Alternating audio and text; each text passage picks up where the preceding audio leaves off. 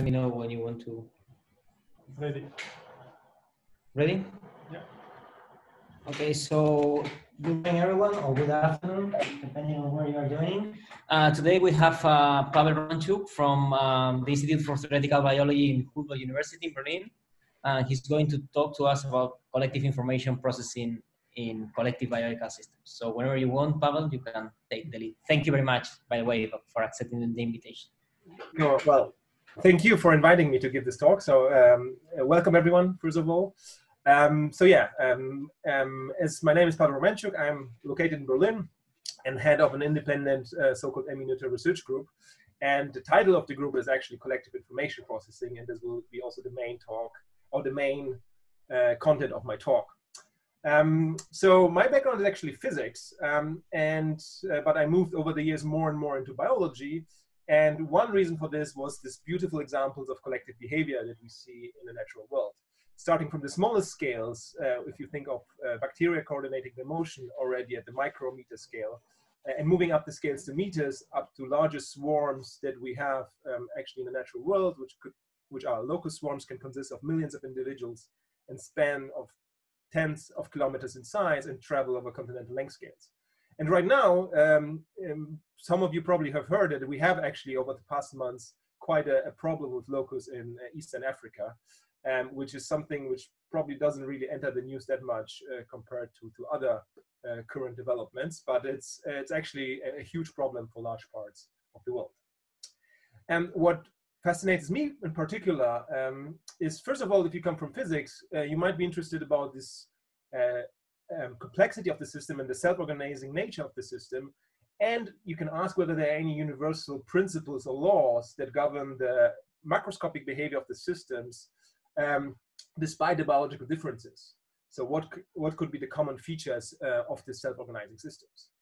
Um, however, if you coming from the biological side, what I find particularly interesting, or even more maybe interesting about the systems, is that they just don't come together by you know simple uh, minimization of free energy, like for example, fluid droplets or something like that, but they actually evolved over uh, long time scales to be collective. And because being collective serves actually a function, a biological function, um, which benefits the individuals within the group. And one, you know, there are a lot of theories in biology why being in a group might be beneficial to individuals and why it might be evolutionary advantages to be in a group. Uh, I like to summarize a lot of these benefits actually as um, the collective information processing.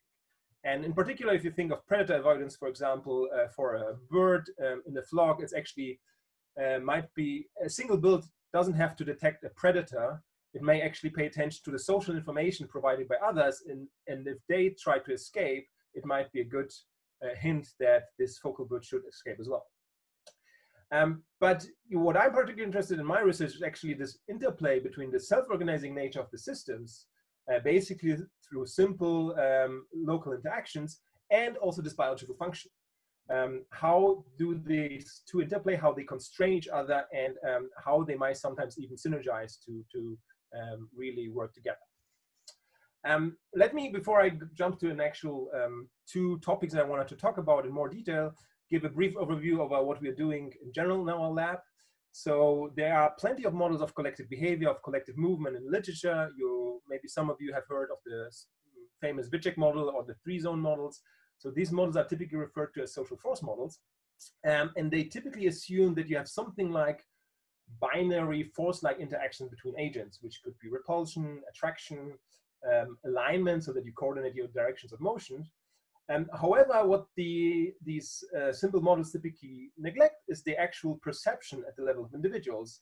This is something that bugged me for a long time, and this is one main um, activity of our lab to actually develop new models uh, of collective movement, which take uh, the limitations, potential limitations of perception, and maybe even cognition into account, but still with the bottom-up approach, uh, really taking the physics approach to this, but really thinking about how can we bring perception into a physical way of thinking. And one very recent paper that I'm pretty excited about in this direction is uh, with Renaud Bastien, which just appeared in the beginning of this year, where we really take uh, a bunch of agents, self-propelled uh, agents that move in a, let's for the beginning, in a two-dimensional plane, and they, they have only interact through vision. So basically, they can only see what is projected in the retina. And in the simplest case, it's shown here, depicted on this um, graph, is uh, you can imagine that they have the simplest possible vision um, that it's basically black and white. So if there's something, it's black. If there's nothing, it's white. And there's might be even no um, object recognition. So even you cannot distinguish whether it's a one individual close by or two or three individual um, overlapping because of occlusions. And the question is, you know, is this enough to generate, um, for example, coordinated movement? And in this paper, we actually started from bottom up, um, writing down like a mathematical framework, how this vision-based model could, can work, and how agents can um, uh, adjust the movement based only on the pure minimal visual input uh, by this visual field as depicted below in a simple case. And just to give you some examples of this paper, here this is just one example how such bunch of agents, uh, this is I think 40 agents here, can effectively just paying attention to this intermediate um, or, or, this uh, immediate visual input, how they can effectively coordinate and eventually start to move in a very coherent, coordinated fashion. So you should remember that each agent just pays to the pays attention to the basically black white input on the retina on its kind of uh, what it perceives. So there's no concept of distance. There's no concept of other object or other agents. It just sees this black white swirling pattern on its retina and tries to respond to that and eventually if all agents do the same they uh, can effectively coordinate the motion and here we actually looked for very, very simple uh, or the simplest possible rules that allow for such a visual uh, flocking. Another um, just parameter uh, regime gives you a different dynamics, like for example, this kind of disordered swarm dynamics that might remind you maybe of mosquito swarms. And you know, it still remains cohesive. Maybe it's not as, um, on the first glance, not as impressive as this coordinated movement. But when you pay attention to this, and I hope kind of visible in this movie already, is that there are almost, or there are basically no collisions, despite this very uh, chaotic nature um, of the swarming motion. But the agents still, with this very limited visual perception, are almost perfect at avoiding collisions. And this is something, if you work with social force models, not trivial at all. If you want to think, uh, if you really want to avoid collisions, that agents, you know, really don't come too close. And um, here, it kind of seems to work, at least for this uh, uh, visual um, pure visual flocking uh, or swarming dynamics. So this is um, a huge part of our um, research actually goes into you know trying to develop new models um, or models that of collective behavior that take into account individual perception. But um, another big field of the research that I'm going to talk today a little bit more is actually behavioral contagion and collective decision making, in particular in fish. Um, and as I said, I, especially in the second part of my talk, I will uh, talk more about this. Um, then there is also a bit less prominent in recent years, um, but also a huge interest of mine, uh, understanding new phases of biological active matter. Um, you know, what type of macroscopic patterns and macroscopic dynamics you can uh, obtain. Um, and last but not least, what I'm also interested in is coupling this uh, complex collective spatial temporal models with evolutionary dynamics and, and, really see what is the consequence of potential spatial structure or spatial temporal dynamics on the evolutionary outcomes uh, in such evolutionary games. All right, but let me, after this brief overview, let me jump to the first topic that I want to talk about, which is uh, flocking in complex environments, and in particular, something which I refer to as coordination versus environmental responsiveness trade-off. And this work has been done together with uh, visiting grad student uh, Parisa Rahmani, um, in collaboration with Fernando Fernando Peruani, who is at University of Nice, and was just um, in April published in PLOS Computation Biology. So that typically when you think of um, collective movement models, most of them happen um, or are assumed to happen in bare or empty environments.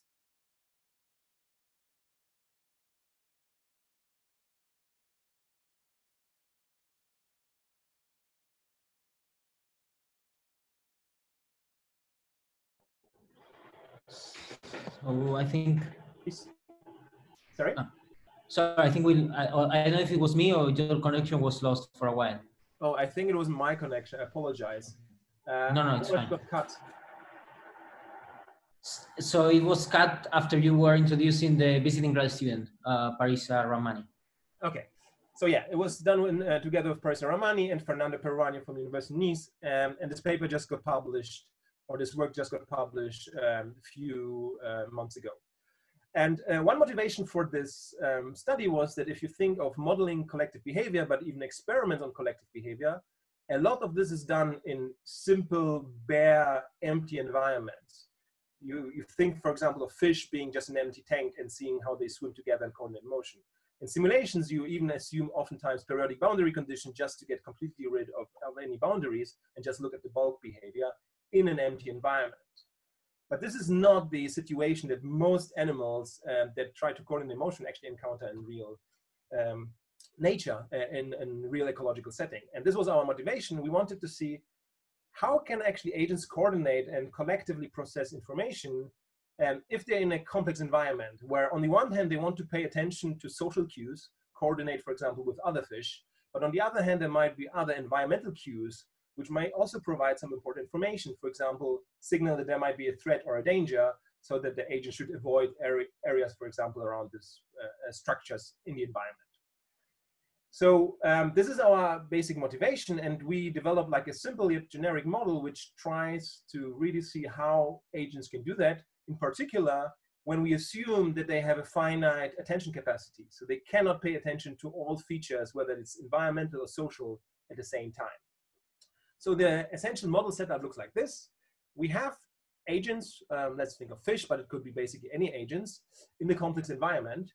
And any agent can only pay attention to k nearest objects, irrespective whether it's another agent or whether it's a structure or, or a cue from the environment. All agents, uh, in our case, try to coordinate their motion with the neighbors that they detect in order to move together with them uh, and flock together. They also want to avoid avoidance zones around a point like um, distraction site or danger sites that we distribute in the environment, but they can only detect those danger sites if this danger site is within its k nearest objects. So again, this is the kind of limited attention capacity um, that we implement here. And in addition, there are few informed agents that actually know what is the right direction of motion, the right direction, for example, to go to food or to migrate.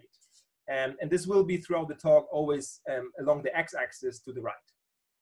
And the question is now, given this setup, what is the role of this limited attention to actually, um, for the agents to coordinate, to avoid the danger zones, but also to find the right direction of motion provided by the few informed individuals? And in order to address this question, the first and obvious thing would be just to first look at the interaction networks. So how do the agents actually interact with each other depending on this attention capacity K, how many objects they can pay attention to. And these are the social interaction networks for the agents. The agents are uh, showed in black or in red. Black are just agents socially interacting, and red are agents which are within a, a danger zone, but also close enough to, a, to, the, to the center of the danger zone that they can actually detect the, uh, this distraction site and respond to this. So these are the agents actually responding to the sites. And I should mention that once you respond to a danger site, it overrides all your social interactions. So you're not coordinating anywhere anymore with your neighbors. You're just trying to get away from uh, directly away from the center of this distraction site. So this is um, basically what is shown here for two different attention capacities. One very low attention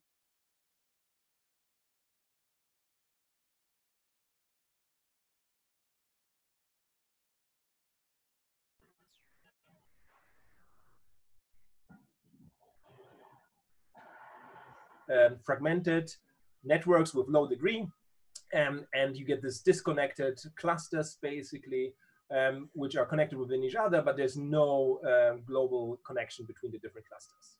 On the right-hand side, if you have high attention capacity, on the other hand, what you basically see is a, a single giant component um, within the interaction network, and there are, of course, some isolated individuals which uh, respond directly to distraction sites, and this is why they're then non-responding, um, not linked to, to, the interaction network.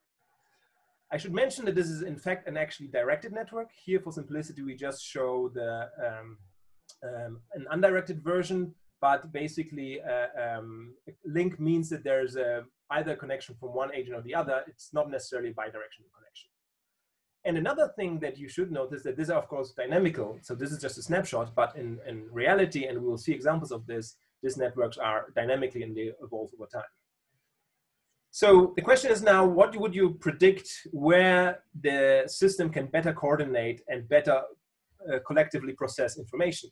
And you know, from a simple network perspective, you would argue, well, for the better connected network on the right-hand side, for example, the information provided by few informed agents can diffuse much more effectively to the entire population. Therefore, you would expect that for K-12, this is the network that um, should coordinate better or be better at uh, collective information processing. And in fact, this is what you also see for empty environments. If there are no distraction sites, so completely bare, um, empty environments. And this is as um, expected with increasing attention capacity, with increasing parameter k, um, for all ratios of informed individuals, uh, starting from, from very, very low ratios to a fully informed system, you always get better accuracy of following the few informed agents to moving to the right in a stationary state uh, with uh, high attention capacity. So the larger the K, the better the network, the interaction network is connected on average, and the higher the accuracy, collective accuracy of the system. But surprisingly, if we now move to a, um, a situation with a complex environment or heterogeneous environment with a high density of this distraction site, the situation completely reverses. So here, actually a better connected network leads always to a lower collective accuracy.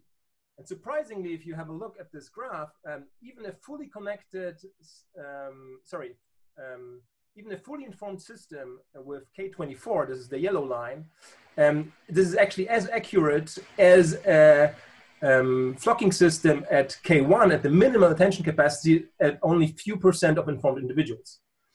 And the question is, why is that? I think it's much easier to actually develop intuition for that by looking at actual what happens in the real simulations. And here, this is now a simulation movie of a high attention case. So for K24, each agent can pay attention to 24 uh, other objects. And this is a high density scenario, randomly distributed distraction site with the danger zones depicted as this um, bright bluish uh, areas around the point-like distraction site. And then we have um, um, naive and informed uh, individuals. So the informed individuals are always the open um, symbols and the naive individuals are the closed symbols. And the black ones are actually socially interacting, whereas the red ones are responding to the distraction signs. And in this example, there's always, or in the examples that I'm going to show, there are always 10% of informed individuals, so only one tenth of the systems knows that one should go along the x-axis to the right. And if you look at this high attention capacity, what you see if you start from random initial condition, that the system very quickly starts to converge and you see this development of local flocks or, or swarms that move together in a coordinated fashion. However, um, they, they are very good at um, re responding to the environmental cues, so trying to find the free paths uh, within the environment, but they just basically move randomly and there's no global coordination or no global order for the agents moving to the right. So now if you look at the collective accuracy, how well they are actually able to follow the um, informed direction of motion. This is shown in this green curve accuracy. It's basically oscillating around zero. So they basically uh, are randomly moving just through the free paths in the environment. So this is the why the accuracy is actually so low at high attention capacity. The agents are very much responding to the environmental cues. On the other hand, if we go to the low attention, uh, attention capacity case, K1, this is actually the smallest attention capacity, the picture changes dramatically. So here, um, initially it's also um, random initial conditions, but you see the locally agents start to coordinate again and move together. Uh, however, the, they are not forming these large clusters, but rather move in little clusters of three, four agents maximum together. But eventually, if you wait a long time, you, you seem to realize that more and more agents start to move towards the right actually towards the right direction of motion. And what you actually see is that the accuracy goes almost to 0.9, 0.8 in this particular example. So the whole system globally is very good about following the information provided by the few informed agents. Um, and they all, in the end, basically move uh, almost perfectly along the x-axis to the right. However, as you can see, is the agents seem not to care that much about, uh, about um, the danger sites and the um, corresponding environmental structure. And the reason for this is essentially that this low attention capacity, the attention of individual agents gets almost completely saturated by social cues because of the self-organized nature. So if you start to move with someone else, you actually end up much closer to them. You form these local dense clusters, and therefore for a typical agent socially interacting, its attention capacity is already saturated at this low attention capacity, capacity at this low K by the social cues, and it becomes blind to the environmental feature to the distraction site. Basically, the, the system self-isolates from the environment, but is very good about, at coordinating at this low K. This um, effect gets even more or even more clear if you look at structured environments. And here we have a, a single circular path. The right direction of motion provided by the informed individuals still go to the right. But for this high attention capacity, um, again, the agents are pretty good about coordinating the motion, but also trying to find the free path, which is circular here. And if we wait long enough, eventually most of the agents will end up moving together in this uh, free path in the environment, and only few by accident enter this uh, completely uh, um, dangerous kind of region filled with distraction site and danger zones. So this is for the high attention capacity. So they basically are able to follow the structure and environment completely and ignore the information provided by the um, informed individuals, which is moved to the right.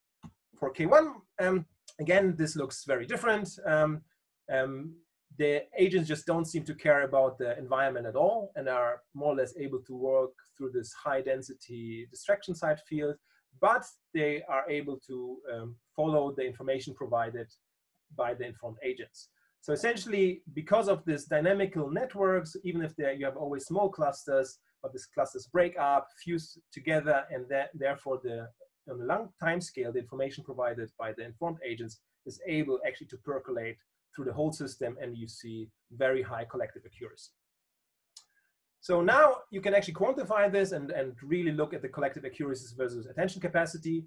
And this is now basic uh, quantified what we saw before in the simulations, you get the maximum accuracy at uh, low attention capacity. Typically, the attention capacity is of one or two.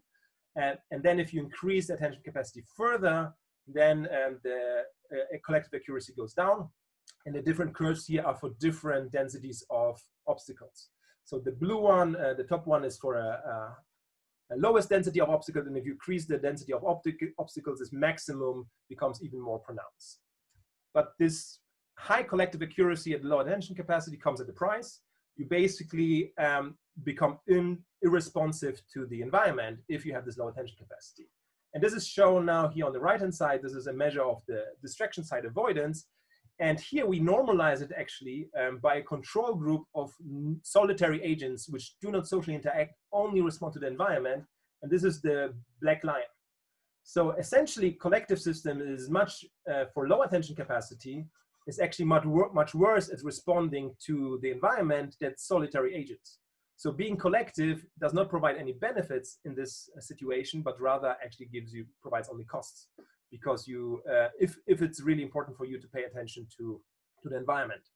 And only above a critical attention capacity, and in this example, it's around 10, uh, you become more responsive to the environment than solitary agents. So there you can only see benefits of being collective um, uh, with respect to the response to the local environmental cues.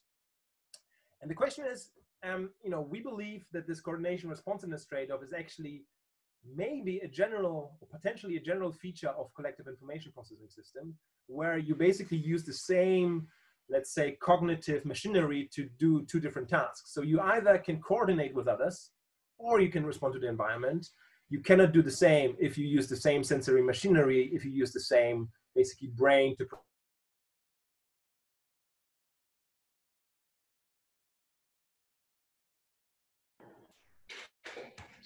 So let's see.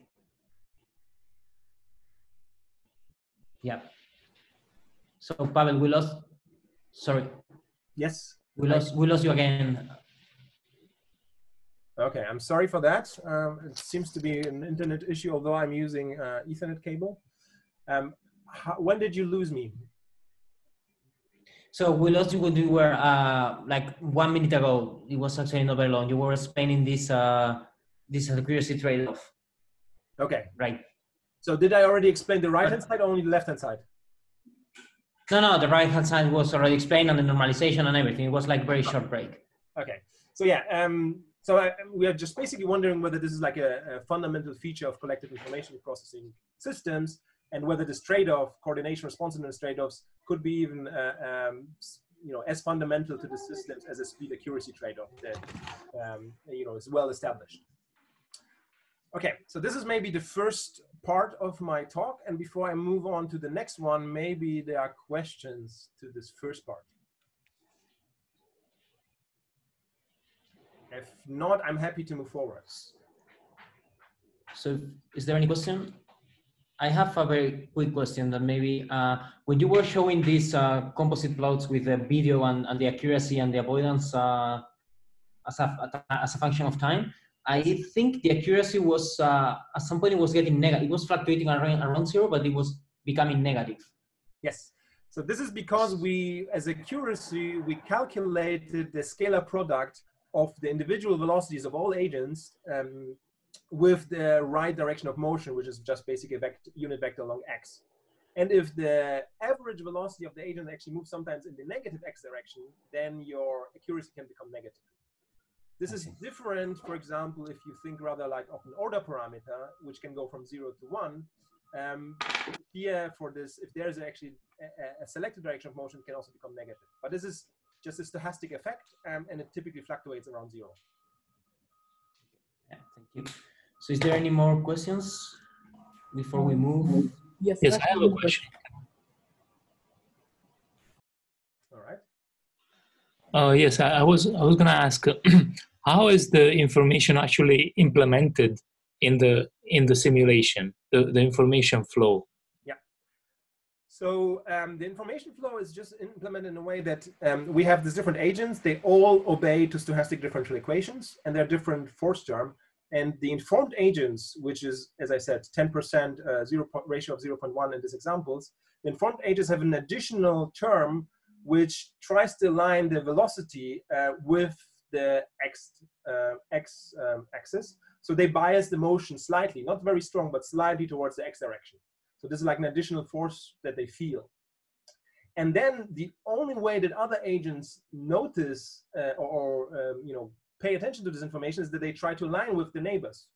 And some of them are informed, which tend to move towards X uh, direction, and therefore they, they get this, through social interaction, this bias to move along the X direction. And so this is all, basically uh, social interactions and basic copying of the um, movement directions.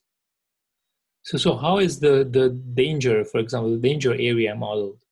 So the danger area, so we try to do, be as simple as possible. So we assumed point-like um, distraction sites. And when the distraction site, which was like, um, you know, at the center of this blue zones, was within the k-nearest object, then you detected this.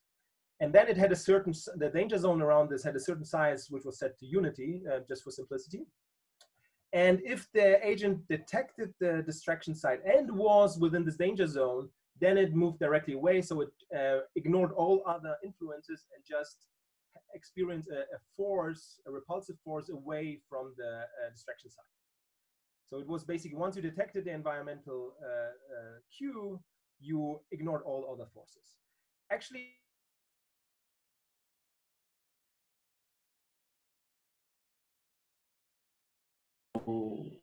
let's see if we recover him.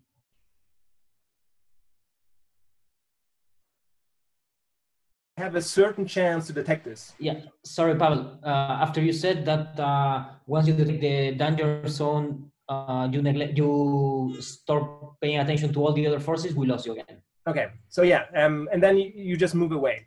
But we actually did some additional um, variations of the model just to test for the robustness of our results.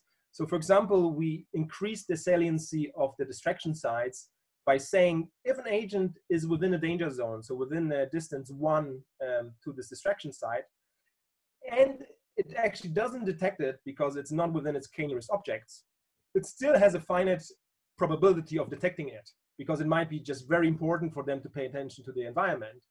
Um, and it's as long as this this probability is not one where they always perfectly detect the environmental cues, you always get this coordination responsiveness trade-off. So this is really robust with respect to the response to this distraction sites, as long as there's some trade-off in terms of the perception of social and environmental cues.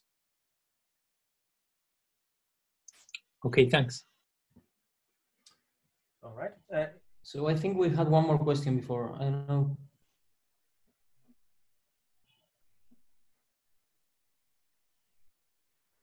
No? Yeah, uh, I was about to ask a question, but uh, it was answered in this, so thank you. Okay. Ah. All right, and yeah, if there are any, maybe I should mention if there are any questions which go more in deep, I'm actually happy also to reply to them, you know, in via email or maybe in another private chat if someone is interested. But of course, um, there's much more in the paper that I can discuss here within the talk. But um, you know, if you feel, uh, if you have some urgent questions, you can always contact me after the talk at any point. Okay, but then let's move to the second part, which is rather changing the, the um, uh, topic from this very theoretical collective information processing in terms of movement coordination to collective escape response uh, and behavioral contagion in animal groups. And in particular, what I'm going to talk about is um, actually a work that we published uh, end of last year together with um, Iain Couzin and his students, um, in particular Matt Sosna, who did the experiments on individual versus collective encoding on risk. And the basic um, dynamics of biological uh, system that we're interested in are startling, so-called startling cascade in fish schools. So here's a fish school and sometimes individuals just get scared and they perform this very fast um, so-called C-start or startle, uh, where they just basically jump suddenly to the side. And um, this startle response has been studied in neuroscience uh, for fish for a long time, and it's a very interesting behavior, which is known to be governed by a single neuronal structure. But what is really interesting about this behavior that it can also spread socially through a group. So basically, if spontaneously one fish just startles because it got scared maybe by, by light reflection, then other fish may copy this behavior and also startle, and then you see this cascade spreading through the system. And actually, in this um, Rosenthal paper, the first one, this is where the group of Iain Couzin actually, Iain Couzin for the first time uh, showed this social contagion uh, dynamics in the startle cascades the, the, nice thing about the startling cascades is that they are very, this is very fast acceleration and, and you can nicely um, quantify this. It's more like neurons firing one or zero and in the tracking data, you can actually clearly, more or less clearly say, oh, this individual was startling and this individual startled few um, uh, milliseconds after that. And using this information and this clear quantification, who was the first startler, spontaneous startler, who was the first responder, you can actually build interaction networks, which is actually in general very challenging for animal groups. And this is an example of such an um, interaction network from the paper by Brin Rosenthal and Colin Twomey, where they just uh, overlaid on top of the of free swimming schools the um, interaction networks they gain, that they deduced by analyzing many of such startles. So each link is actually a, a probability of an individual startling given that the corresponding um, other agent that it's connected to startles at a given time. And you can see it's, it's a you know, very complex network, which depends on the local structure, but it's also very much dependent on the distance. You, and you can summarize in general as the closer you are, the more likely you are to startle if your agents, uh, if your neighbor startles. So if you're interested more in the details of how to um, determine these interaction networks, I definitely refer you to this nice paper by um, uh, Iain Couzin's group. What Matt Sosna did, which was a grad student in Iain Couzin's lab, um, at the time when I was a postdoc in this lab was he moved a step further. He wanted to ask what happens if you change the context, the school the fish are actually uh, swimming in. So what happens if you can change, for example, the risk perception? How does the system respond uh, to this um, to this change in risk?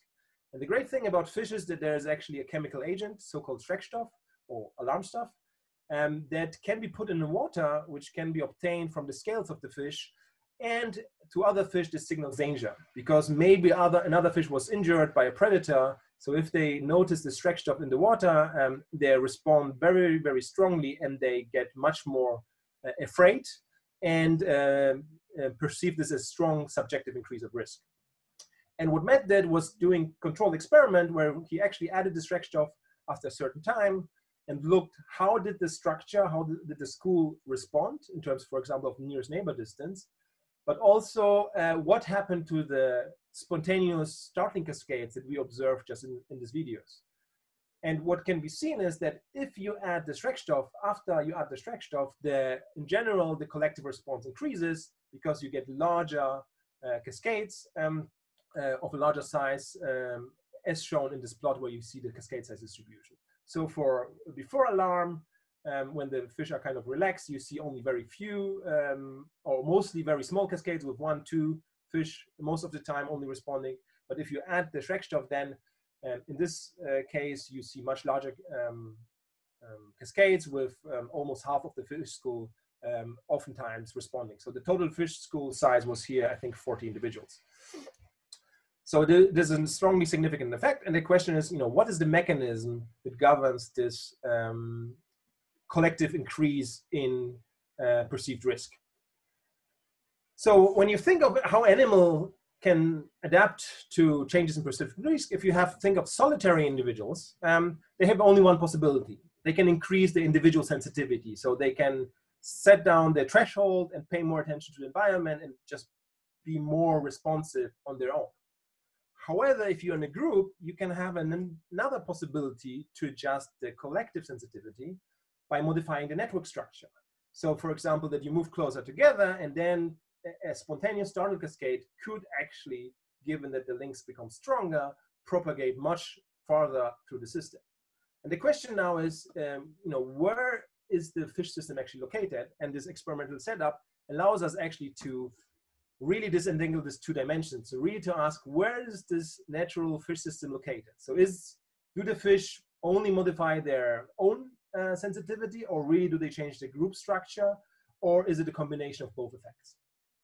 And what you can immediately notice from uh, analyzing the tracking data and watching at the movies of the experiment is that the network structure changes a lot in this experiment. So this is the fish school before Schreckstoff. So it's pretty relaxed and the fish are spread out through the tank and, and swim more or less in a coordinated fashion, but still uh, uh, more or less also on a global scale random, but they seem very much relaxed and the nearest neighbor distance is pretty large um, given um, what the fish could do in principle.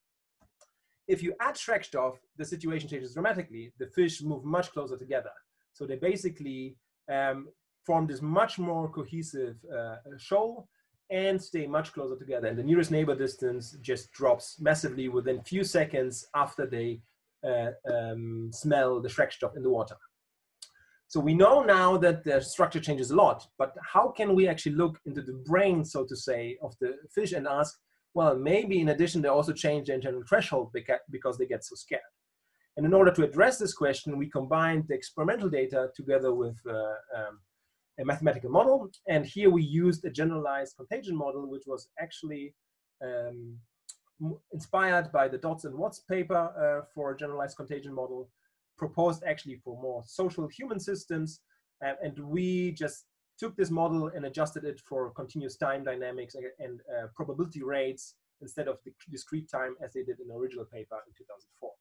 So essentially we have a network, we have a focal agent here, and there, the red agents are now the active agents. So they, through their behavior, through their escape behavior, they send activation signals with a certain rate uh, represented by the strength of the links to the focal agent.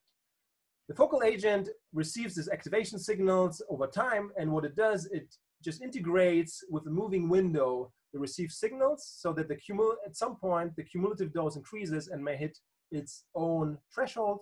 And if it hits its own threshold, then the agent becomes goes from a susceptible state to an infected or active state where it also responds with the escape response. So it's a now basically pure network model that we map the system to. And after a while, after the, the agent becomes active, it can go back to a refractory state. Um, and for us, uh, for simplicity, we assume that this refractory state is an absorbing state just to be sure that we have only one cascade um, and uh, that we can, in this way, clearly analyze the size distribution of these cascades. But given that the cascades in the real system are rather rare, um, it's also a good approximation of the real biological situation. So now we have this model and we can actually parameterize this model by the experimental data. So what we can do is we can take the networks that we have that we can obtain from the experiment, from the tracking data for before and after extraction. So we can actually account for the change in network structure due to the change in the uh, in perceived risk. Um, and now what we can ask is, you know, what happens if we now change the um, average individual threshold? We can actually um, eliminate all the other parameters and we end up with this individual threshold to be the single free parameter in our model. And now we can simulate this uh, contagion process on the experimentally obtained network for before and after. And this is one example of a, of a real fish network. And if we have now a high average threshold, um, you see what you expect. Basically, after spontaneous startle, you have only a small cascade appearing. If you have a low average threshold, then the situation, oh, sorry, somehow my uh, presentation crashed. I will try to open it again. Okay. Maybe there's time for questions if someone wants to ask in between. Is there any question?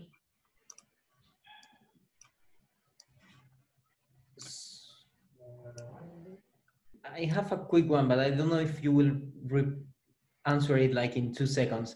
In this contagion process that you are showing now in a network, Yes. uh, the network is uh, stationary. It's going to also the links are going to evolve because I guess these fish networks are dynamic, no? Yes. It's a very good question, and I can answer it maybe not in two, but in five seconds. Okay. So the startling cascades are very, very quick. They happen wi- within less than a second.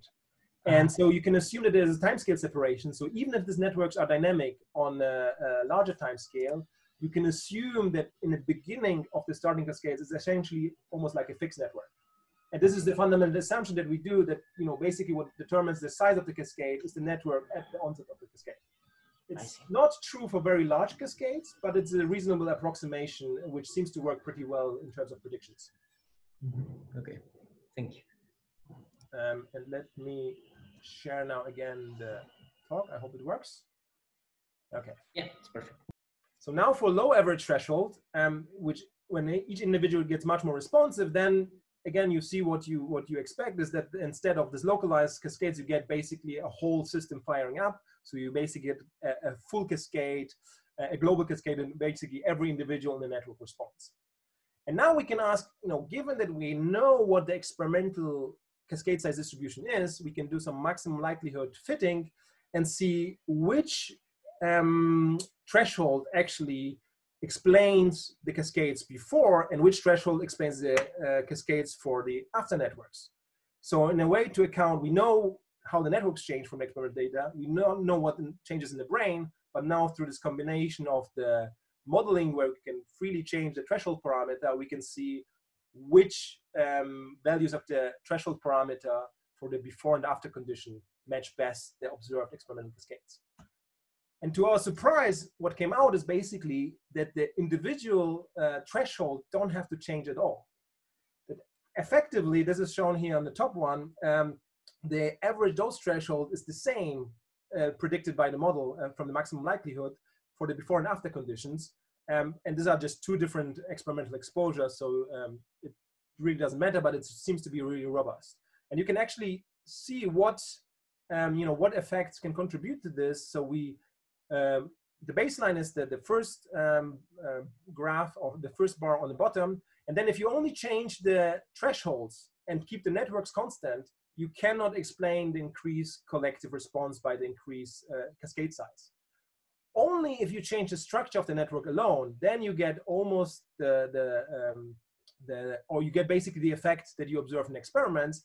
And if you do two modulations, so you change both the responsiveness, responsiveness slightly and the spatial positioning, you get some synergy of both modulation, but it's actually much smaller than um, the adjustment of the network structure itself. So now, given our two-dimensional diagram, what seems to be the case for this fish, which are the golden shiners, is they essentially seem to, at least in this experiment, to only modify the network structure and not really modify the internal um, thresholds.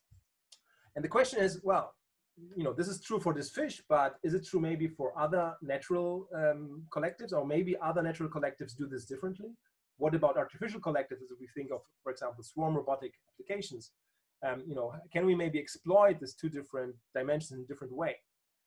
And one important question is, of course, what about real world behavior? Because again, this was something that happened in the lab under artificial uh, lab conditions. Maybe it's different for the fish in the wild.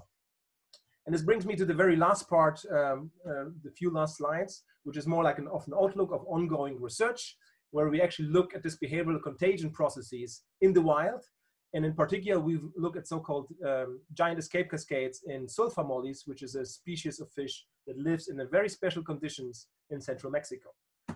And they live, live in um, Los Azufres, which is a spe special basin or special ecological setting in sulfuric um, river system, which contains a high um, concentration of uh, sulfur, um, sulfur hydrogen um, in, uh, in the water, which is typically um, toxic to most or to all living beings. But this fish actually developed a specific uh, evolutionary, uh, the specific capability to survive in this toxic uh, sulfur containing water.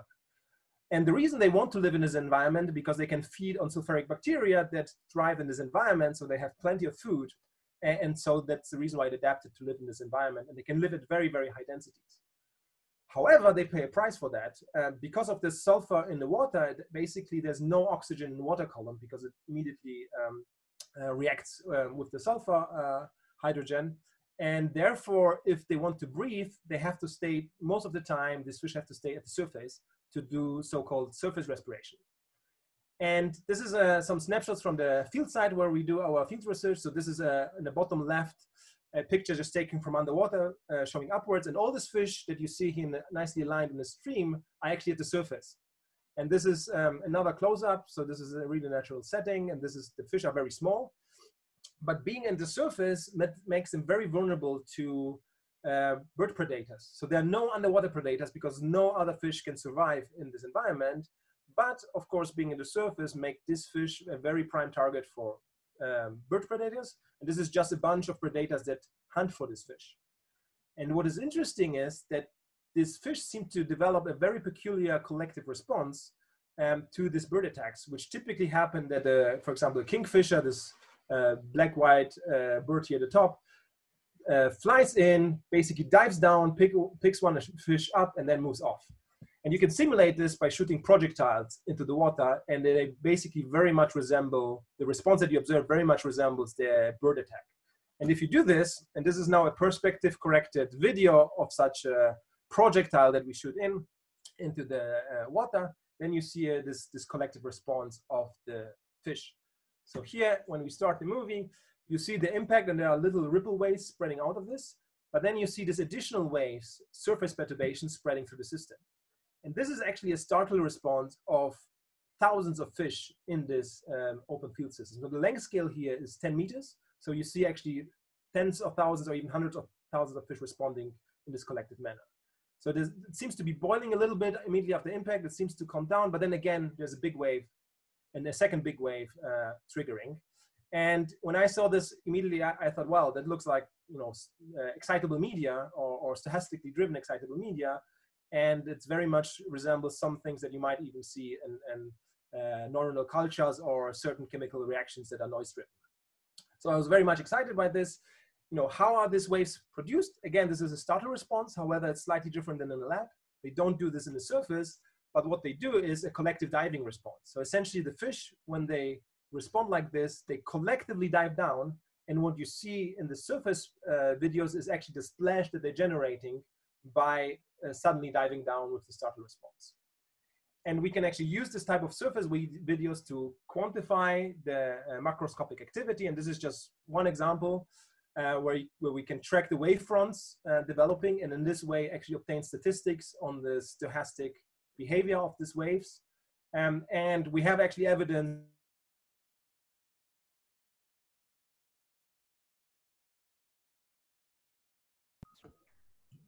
So let's let's see if we recover him again.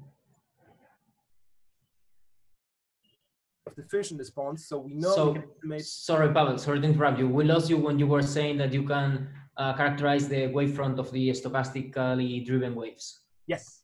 Okay. So yeah, we can, um, I can maybe restart the video again. So sorry for this. Now my computer is not responding. So uh, yeah, we can quantify this. We have evidence that this is actually a um, excitable noise-driven system based on this analysis. We can quantify the size and the speed of these waves. Um, and for example, we can um, show that the largest waves can span up to 30 square meters uh, in area. And this means that there are, you know, even up to 100,000 of fish uh, participating in such a wave. And we can also quantify some effects. How long does this waving effect act before the system goes back to the resting state? And here there seems to be uh, that there's actually something like collective memory of the system for several minutes. So this en enhanced activity of the system after a bird attack or a fake bird attack uh, acts um, up to two or three minutes um, after it happened. But we can do more in the system. We can actually do even close-ups.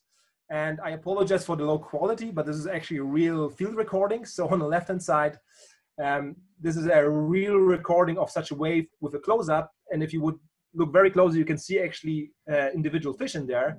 And if I let it run, you can see in slow motion a wave spreading through the system through this surface perturbation. And what we can do now, we can actually take these videos, use, for example, convolutional neural networks to obtain the position of the fish just before the, uh, the wave spreads through.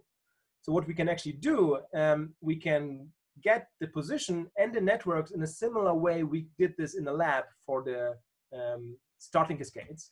And we can, here, this is now a, such a network that we can reconstruct it on real positions and we can run our complex contagion model on these uh, real networks to ask the question, for example, how does the uh, speed of the wave or the size of the wave uh, or the probability that the wave propagates through certain regions depend, for example, on the density of the fish, and compare um, this to the actual uh, empirical uh, observations. And this is uh, something that we are currently working on. So this is work in progress, but um, we are very confident that we may get some really interesting um, results for this behavior, for this behavioral contagion in real system in the wild. And this brings me to the summary of my um, talk.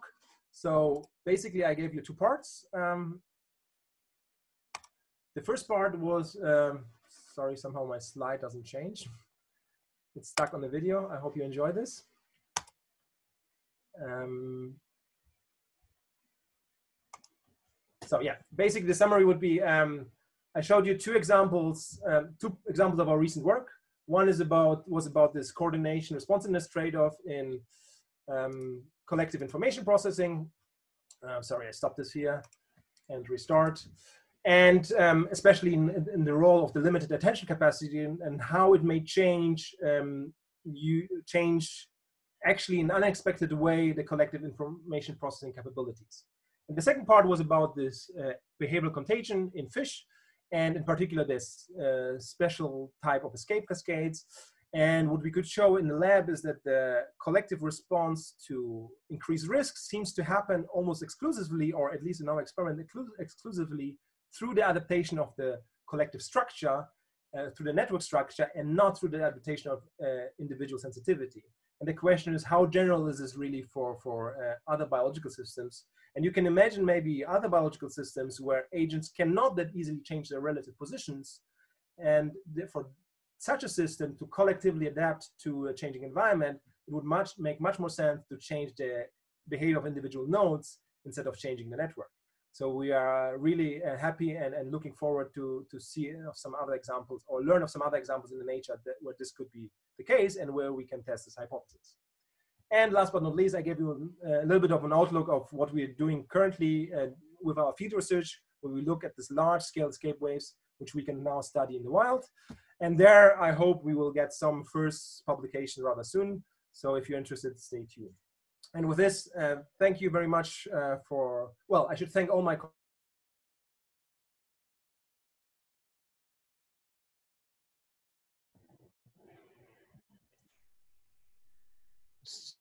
So while we wait for uh, Pawel to come back, if I mean now we're going to open it for questions. You can either uh, ask yourself or if you want to write in the chat. Or... So Pawel, we lost you when you were acknowledging the collaborators. Okay, so not not much missed there. I think I acknowledge also the funding agencies, so you, you see their logos. Thank you very much, Pawel. That was uh, an amazing talk. Thanks a lot. Thank you. Uh, so questions, yeah, time for questions.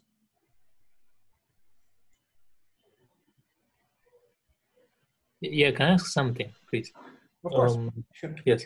So, um, so I seem to understand from the the first part of the talk that when you have limited attention uh, capacity, then uh, clusters are more likely to be to be formed. You know, and then and then you and then you have this kind of directional uh, swimming.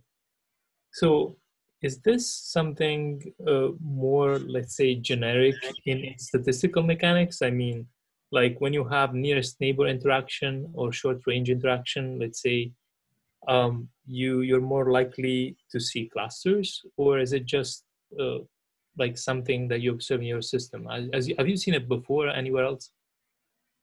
So um, I think it's pretty generic for this type of flocking models with nearest neighbor interaction. Um, so the, especially if you have this low nearest neighbor interaction, uh, surprisingly, so we have actually a follow-up paper on this project, but surprisingly, not many people look at this from a statistical point of view. And we are currently finalizing a, a preprint that we hope to publish within a few weeks, that where we look at the same dynamics, not for a kind of collective information processing point of view, but rather from an active matter statistical physics point of view. And so surprisingly, people didn't look at this that much in terms, you know, what is the role of K for the spatial structures that uh, evolve on the larger scale. So the clustering seems to be a generic feature of the K nearest neighbor interactions. If you have another topological interaction, topological means that it doesn't really depend on distance, but only on the who is your ranked nearest neighbor, which could be a Voronoi interaction where you interact with the first shell of neighbors. This one is typically spatially balanced so that you have all, you know, to all direction neighbors. And there you don't see such a strong um, clustering. But one reason for this is also that for Voronoi, you always interact with six nearest neighbors, which is typically the, the, the, the first shell of neighbors in, in 2D. There has been another uh, work by the group of, I think, um, Cavagna, where they looked at spatially balanced KNN. And I think for this type of model, which is much closer to uh, Voronoi, you also would see less of clustering. But still, as long as you interact with only very few agents, or alternatively, very short range interactions, if you have metric interaction, you will see strong clustering. So for example, for a Vicsek model, which is classically has um, a metric interaction, so you have a certain um, interaction range and you interact with all neighbors within this interaction range, the smaller your interaction range is um, and you have small noise, the, the stronger clustering you get, essentially. So yeah, I think it's a generic feature. And people have looked at this a little bit um, in the context of the Vicsek model, not that much in the context of uh, topological models like we used here, like KNN, for example. Okay, thanks. So more questions?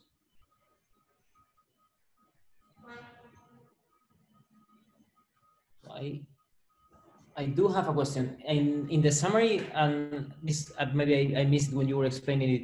You talk about some uh, tragedy of the commons in the sense of uh, evolutionary a tragedy of common information in an evolutionary sense. Uh, what do you really mean by that? Yes, so uh, very well spotted. This is actually a mistake because I had a couple of slides extra of some very work, which was not part of the publication. Um, so essentially, when you think of this um, collective accuracy or collective uh, obstacle avoidance, this is a kind of a, a group's fitness. You can, or you can build some kind of a group fitness from that. If you say, for example, um, coordinating or, or, moving in the right direction is that beneficial for agents, but being too close to the danger zones is that costly for the agents. You can you can build from this like a fitness function and that would be like a group fitness function. And there you can actually see, um, you can vary the parameters, the costs and benefits, and you can see these two distinct maxima. So you can either be good at coordinating or you can be good at um, avoiding obstacles. Hmm. But this is still like a group selection or group fitness setting. And from a biology point of view, it would be always the question, well, does it really hold if you have the um, evolution adaptation at the level of individual agents? And this is what we did in a follow-up project with a master student of mine, where she actually looked that each agent can evolve its own attention capacity and then see what is the um, what is the attention capacity that gets evolved. And we we um, you know tested different fitness function, but we chose one fitness function where the optimal attention capacity at the group level would be four. So something which is like a little bit in between, but it's definitely not one or two, which would be the one which is typically optimal for uh, coordination. And that will be the group optimum. And if you do the individual level um, adaptation evolution, what you realize is that this is not the evolutionary stable, stable strategy, but the evolutionary stable strategy is again a minimal attention capacity of k equals one. Mm-hmm. So there is actually a, a tragedy of uh, common information. I call it tragedy of common information, but it's basically the same as, as tragedy of the commons. So um, as long as there are some guys providing some information about the environmental cues because they have a high attention capacity, it always pays for individuals to decrease their attention capacity evolutionary. And therefore they have always benefit, they are the free riders, and eventually the evolutionary stable strategy is where everyone is a free rider and everyone has only minimal attention capacity. And so this is what we observe in the system. However, this is not part of the paper and it's not published yet. I see. Yeah, thank you. Uh, more questions for Pawel?